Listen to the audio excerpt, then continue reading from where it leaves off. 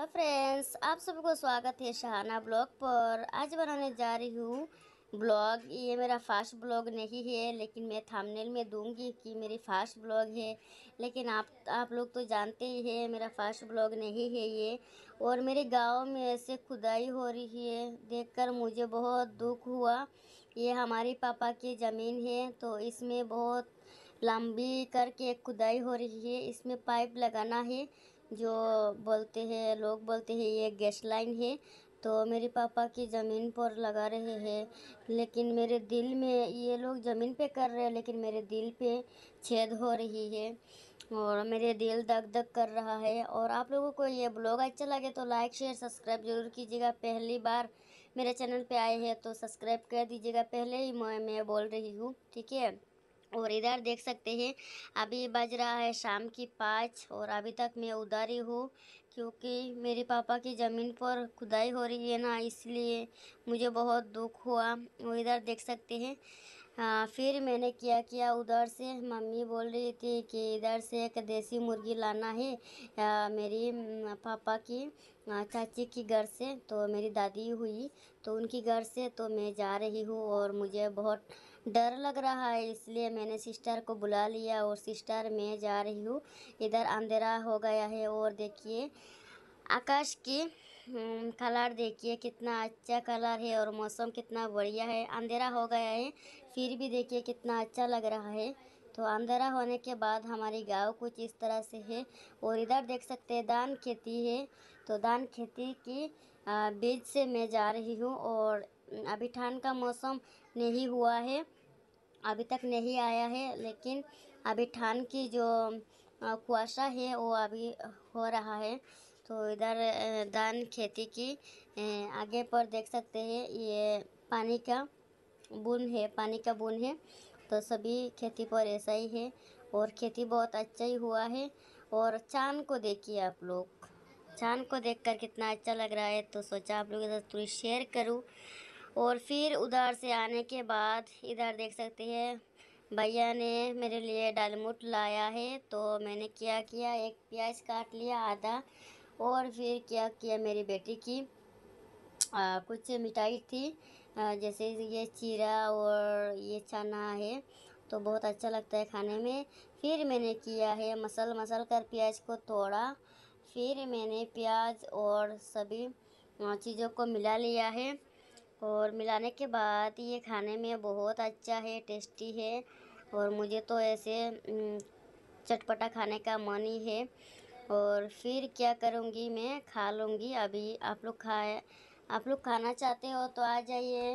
मैं ऐसे बनाकर खिलाऊँगी आप लोगों को और इधर देखिए, ले रही हूँ मैं।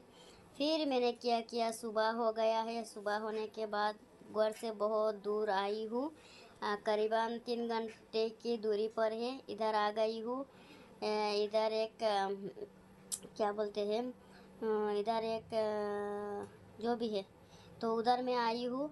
आने के बाद आप लोगों के साथ ज़्यादा शेयर नहीं कर पा रही हूँ क्योंकि बहुत सारे लोग हैं। और मेरी गाँव में लोग वीडियो बनाना मुश्किल है।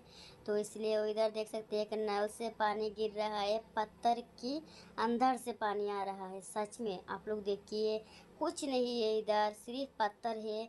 पत्थर की बीज से पानी आ रहा है।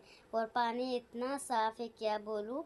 मैं गाड़ी से बैठकर वीडियो शूट कर रही हूँ। पूरे दिन इधर बैठी थी मैं, इसलिए आप लोगों के साथ वीडियो शेयर नहीं कर पाई। फिर इधर उठ गई हूँ और मेरी पेट दर्द होती है, क्यों होती है तो ये दिखाने के लिए आई हूँ। बहुत सारे डॉक्टर के पास गई, लेकिन मेरा पेट दर्द तो ख़त्म ही नहीं होता और मेरी फ्रेंड्स को फ्रेंड्स लोगों को वीडियो भी शूट नहीं कर पाती, उनको दे नहीं पाती और मेरे दोस्तों को इसलिए मैं गई उधर जाने के बाद फिर क्या किया, मैं तो उधर से आ गई हूँ। करीबन अभी बज रहा है, जिस वक्त मैं आई थी, चार बज रहा था। तो चार बजे कर आ रही थी। सुबह गई थी छः बजकर पचास मिनट हुआ था। छः बजकर पचास मिनट में घर से निकली थी।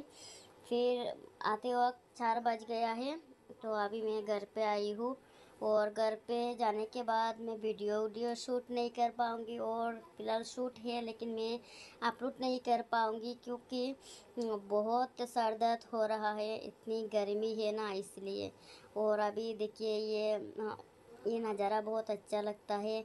मुझे ऐसा लग रहा था कि मैं इधर ही रह जाऊँ घर ना जाऊँ, ऐसा ही लग रहा था, क्योंकि बहुत अच्छा फिर मैं घर आ गई हूँ। घर आने के बाद इधर आलू भाजी बनाया है जिसमें सिर्फ़ हल्दी पाउडर डाल दिया था और कच्चा लौका डालकर प्याज प्याज से फ्राई किया था। ऐसे ही आप लोग एक दिन ट्राई कीजिए। और लाल मिर्च पाउडर नहीं डाला।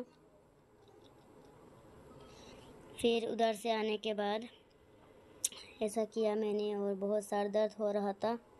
क्या बोलूँ? तो अभी ये हो चुका है। देख सकते हो गया है। फिर क्या किया? दाल बनाया है। दाल देखिए, कुछ इस तरह से पतला सा करके बनाया है और इधर चिकन की रेसिपी मेरा मतलब है चिकन बनाया है। रेसिपी आप लोगों को नहीं दिखाया, बहुत सारा चिकन की रेसिपी है मेरी आईडी पर। और अगर अच्छा लगे आई होप आज का ये ब्लॉग आप लोगों को अच्छा लगे। अच्छा लगे तो लाइक शेयर सब्सक्राइब ज़रूर कीजिएगा। लास्ट बार बोल रही हूँ। और इधर चिकन मीट मसाला डाल दिया है सॉरी और बाय बाय मिलते हैं नेक्स्ट रेसिपी के साथ। तब तक के लिए टाटा बाय बाय और लाइक कीजिए शाना ब्लॉग के साथ रहिए।